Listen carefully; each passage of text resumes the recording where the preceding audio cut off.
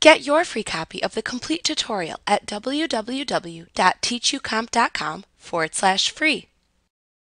In the second example of a 3D formula shown in this worksheet, you can see a 3D cell range reference used to create a 3D formula. A 3D cell range is one cell range that spans several sheets deep. In this second example, the range is cell B2, but it is cell B2 in all of the worksheets from sheet 1 through sheet 3.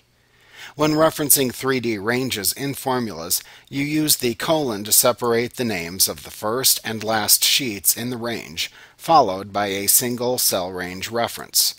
So the cell reference given is then used as the selected cell range through all of the worksheets listed. So in this example, you are adding cell B2 from sheet 1, sheet 2, and sheet 3. In 3D ranges, the given cell range cannot change from one sheet to another. Otherwise, it is simply just another 3D formula, and you should use one of the other two alternate syntaxes available.